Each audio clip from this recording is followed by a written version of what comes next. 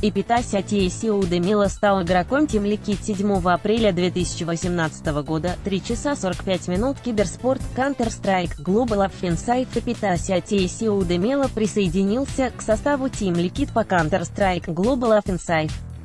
Анонс появился на официальном сайте организации, в команде он заменит Лукаса Стил Лопеса. Также в составе будут выступать Ник Нитер, Нуль Канело, Джонатан Лич Яблоновский, Рассел Туист, Засван Далкин, Китан Лев Маркович. Прошлыми командами TACO были Ламинозити Гейминг и SK Гейминг.